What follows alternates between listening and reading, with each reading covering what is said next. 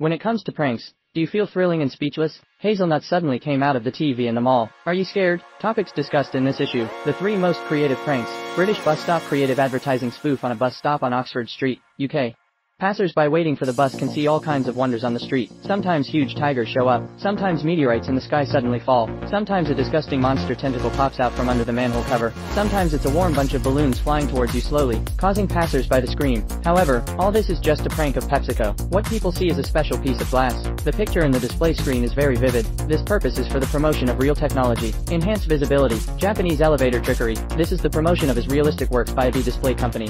The employees of the company installed six monitors on the elevator floor and spliced them together. When the elevator is running, the monitor suddenly plays the picture of the floor falling down, the illusion that the elevator has an accident. He did. The passengers in the elevator were frightened to death, dancing, enough to prove that the fidelity of Pheasant's display can be imagined. Once the video is sent, sales of monitors are bound to soar. Can only say, this wave of elevator trickery is so well planned. In the mall, hazelnuts crawled out of the TV. If Sadako in the Midnight Bell really climbs out of the TV, I don't know if you'll be scared. To promote the film Midnight Bell, the Column Group set up a whole stock in the TV area of a shopping mall. When consumers visit this area, suddenly all the TV began to play. Midnight Bell, the actor hidden behind one of the televisions to seize the opportunity. Climb out of TV as Hazelnut. To consumers, it's frightening to see people's faces. When stunned, I still think the column group is too damaged, but this wave of publicity is also very successful. Okay, that's all for today's video. Do you have any good ideas and suggestions? Welcome to the comment area.